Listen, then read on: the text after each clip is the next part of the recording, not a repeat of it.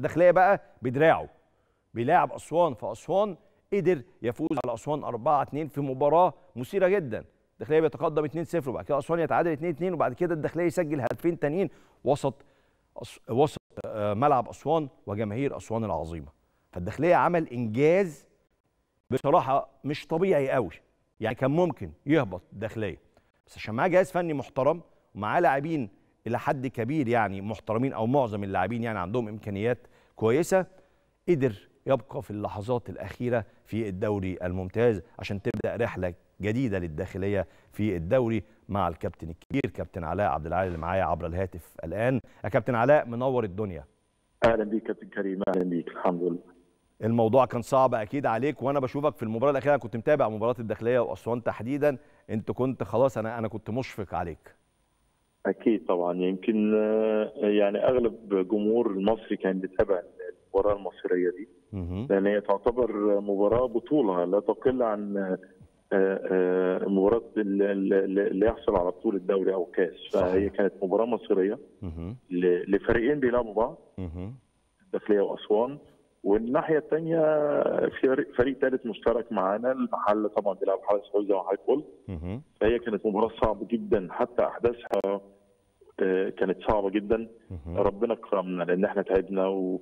والجهاز الفني واللاعبين وقضينا الإدارة آه، تعبنا جامد جدا عشان نبقى بالفريق في ظل الظروف الصعبة اللي, اللي كانت بتواجهنا آه، آه، في ظل وجودي في فترة صعبة جدا.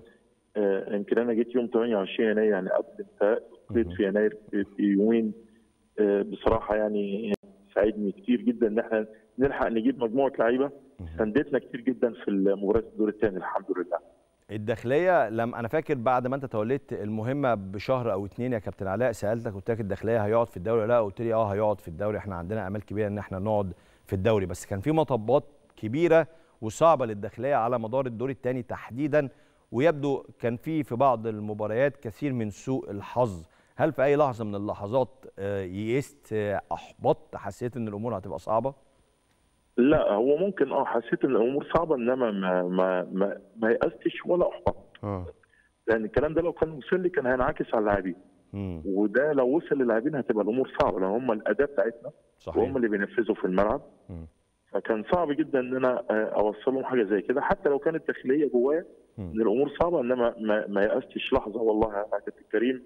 بالعكس يعني أنا كنت بلعب آه، أو بشتغل على النواحي النفسية والذهنية للاعبين بشكل كبير جدا ومعايا الجهاز وكنا بنخلق لهم دوافع كتيره عشان خاطر إن إحنا نوصل آه، آه، بالبقاء في في الدوري. يمكن خسرنا مباريات كتيرة جدا والنقاط فعلا ما كناش نستحق إن إحنا نخسرها. كنا بنقدم مباريات قوية يمكن آخرها كانت مباراة الإسماعيلي. في في السويس آه، عملنا مباراة كبيرة جدا بس للأسف برضه خسرنا آه، يمكن دي كانت آه، مباراة النجاة للنادي الإسماعيلي آه، اطمأن فدخلنا إحنا بقى في حزمه ثانية. المباراة الأخيرة ومباراة مصريه. فلا اشتغلنا على العوامل النفسية آه، والدوافع اللاعبين لغاية ما قدرنا الحمد لله ربنا كرمنا وفزنا بالمباراة وبقينا في الدوري الممتاز عندك كام لعيب كده مهمين جدا يا كابتن علاء زي البنوي مثلا وسمير فكري. وأسماء آه، أخرى هل أنت حسيت في أي لحظة إن الأمور ممكن تبقى بالنسبة للعيبة دي بيفكروا في المستقبل أكتر من الحاضر إزاي قدرت تسيطر على اللعيبة المهمين في الفريق يعني لا هم اولا اولا هم لعيبة محترمة جدا مم. يعني وال وال والغالبية منهم يعني يعني تحت إيدي يعني يعني مم. يعني واحد زي عبد الرحمن البنوبي ده صعوده كان معايا أنا وأنا في بتروجيت. يعني وأنا من اللي مسكت فيها بتروجيت. أنا جبته من الناشئين تحت. ده يعني لع... هو لا لا لعيب حكاية يا آه. كابتن علاء لعيب آه حكاية. آه لعيب كويس جدا. جبته وصعدته معايا بتروجيت والولد تألق معايا.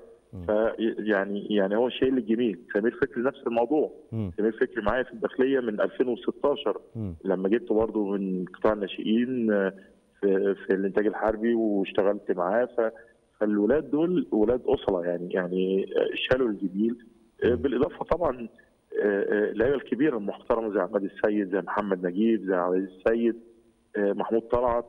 آه، آه، لعيبة حتى اللعيبة الأفارقة محترمة جدا. يعني رشيد أحمد. جايبينه عارة من سيراميكا بس الولد بي- بي- بيموت نفسه في الملعب. صحيح. فلا المجموعة كلها كانت هايلة. حاسين بتعبنا إحنا كجهاز فني. وحاسين بالموقف الفريق. وبصراحة ال- النادي ما بيبخلش عليهم في حدود الامكانيات المتاحة. طبعا. يعني لما النادي يعني طبعا هم اللعيبة طبعا شايفين الأندية الأخرى المكافئات آه، يعني معديه وإنما آه، يعني يعني كنت بشتغل إن هو ده ال- ال- المتاح ولو يقدروا يعملوا أكتر من كده هيعملوا. بس هم شايفين النادي لما بيقدر ما بيبخلش عليهم. هايل فاشتغلنا بشكل كويس وكنا أسرة واحدة. مم. ويمكن برضه يمكن ربنا كرمنا ووفقنا عشان خاطر الحتة دي. إن صحيح. حتى لو كان في لعيبة بيجي لها عروض أو بعض بكرة بيكلموها أو بعض الانديه بتكلمها. قلت لهم طيب يعني ما فيش مشكلة خالص. بس يعني يعني كملوا ال- ال- الجميل للنادي اللي هو و- وخلاكم تتعرفوا وخلاكم الأندية تشتغل عليكم. آه، كملوا الجميل للنادي يبقى في الدوري الممتاز واللي عايز يمشي مم. آه، يتقدم بالعروض ومش هيبقى فيه أي مشكلة فهي كانت مهمة صعبه جدا من كل الوجوه. لغايه اما ربنا كرمنا وكرم كبير قوي بالبقاء في الدوري الممتاز عظيم آه، جدا كابتن علاء المستقبل إيه بالنسبة لحضرتك مستمر مع الداخلية ولا خطوة جديدة هو حتى الآن أنا مستمر أنت عارف إن في مباراة في كأس مصر مع النادي الأهلي يوم 30 مم. آه، يمكن يعني لسه هيبقى في قعده هتجمعني بالشيخ اللي هو عثمان في نهاية الأسبوع إن شاء الله. فلسه يعني هن يعني هتبقى هنستكشف بعض الأمور الخاصة بالفريق التدعيمات الكلام ده كله. عشان ما نعانيش لأن السنة دي أو الموسم الجديد هيبقى موسم قوي جدا. شايفين الأندية آه، صاحبه إمكانيات صعدت وموجودة. فهنقعد كده قعده كده لغاية ما نتفق على آه، كل حاجة إن شاء الله. بحس بحس إن الكيمياء بتاعتك أنت والداخلية دايما راكبة يا كابتن علاء يعني العلاقة بينكم والله أنا ليهم أنا وليك. بحس براحة نفسية طبعا في آه. نادي الداخليه ده بيتي وهو اللي عمل اسم علاء عبد العال وأنا تعبت وبرضه عملت اسم الداخلية طبعا. الحمد لله طبعا. في الدوري الممتاز المصري. فاهم حاجة مهمة جدا الراحة النفسية. في أندية كتيرة طبعا المدير الفني بيبقى مرتاح فيها. وخاصة لو الإدارة بتبقى فاهمة ما. بيبقاش فيه تدخلات يعني. انت عندك انت عندك كابتن الناس الداخليه ان آه. ما فيش تدخلات بيسيبوا المدير الفني بيشتغل براحته وهو هو اللي بيجيب اللعيبة ما فيش أي تدخلات آه، خاصة بالفنان كل واحد عارف شغله إيه وعارف حدوده إيه. فإنما في النهاية ده ده ده ده ده بيتي يعني. ودي كان أقل حاجة ارد لهم الجميل إن أكون موجود معاهم في وقت ال- القاسي ده وإن أنا آه، نقعد بيهم بالدوري الممتاز الحمد لله عظيم جدا أنت عندك مواجهة كبيرة أمام النادي الأهلي يوم 30 في الكاس زي ما حضرتك قلت المواجهة دي شايفها إزاي خاصة النادي الأهلي في أفضل أحواله يمكن على الإطلاق هي بس هتقابلنا مشكلة كابتن كريم. ويا ريت برضه اتكلمت فيها قبل كده يا ريت برضه تشار من خلالك. إن إن عندنا آه، في لعيبة كتيرة جدا إعارات في لعيبة آه، آه، عقودها انتهت. آه، هتنتهي مم. فطبعا إحنا عرفنا إن القيد ممكن يفتح يوم 27 مم. 7 مم. قبل المباراه بثلاث أيام. فمعنى كده إن اللعيبة دي مش هتبقى موجودة معانا. فأنت بتتكلم إن اللي هيبقى حوالي 10 لاعبين فقط.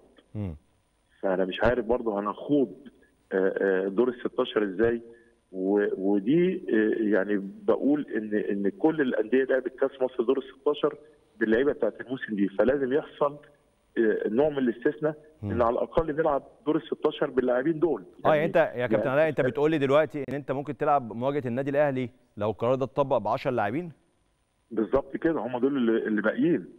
هم دول اللي هيكونوا موجودين. آه. وده برضو يعني مش هيبقى آه، آه، في تكافل لأن في كل الأندية لعبت الدور ال 16 باللاعبين ال- ال- ال- المسجلين هذا الموسم. صحيح. فانا هلعب آه، بطولة كانت موجودة الموسم ده بال- بلاعبين مم. لازم يستمروا لغاية يوم 30 يلعبوا المباراة. صحيح. آه، آه، إنما لو لو فتح القيد هتبقى مشكلة لأن اللعيبة دي مش هتبقى بتاعتك خلاص سواء الإعارة أو العقده انتهت.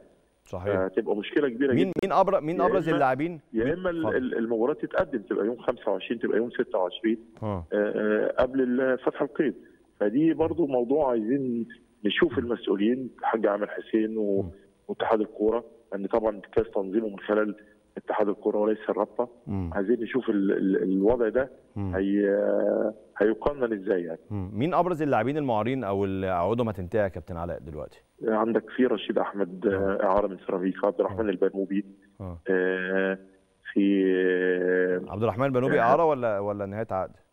لا لا كنا واخدينه إعارة من آه. من سيراميكا. آه صح. آه، في حوالي ثلاث لعيبة أو أربع لعيبة من آه، 2001 النادي الأهلي. في محمد نجيب عقده بينتهي. آه، آه، لا في كمال أبو الفتوح. كنا واخدينه اعاره من آه، من إستر كمباني.